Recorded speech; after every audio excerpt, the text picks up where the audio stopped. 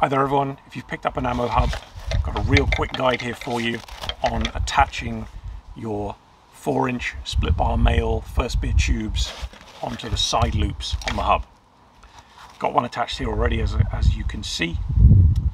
Uh, if this is the method you're wanting to go with for the sides to connect into a cummerbund or some of the chest rig expanders out there now, the best way for doing this is you're going to want to start top or bottom, doesn't really matter, but you're going to want to capture this smaller part of the split first. So you're going to work inside out and then the same at the bottom. So again, from the inside going outwards, capture the smaller loop first, then push the larger one on,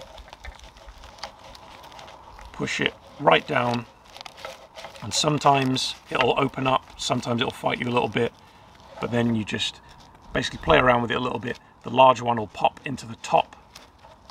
And there you go that's half attached already. And then again same for the for the uh, for the other pair of loops. You start from the inside working outwards.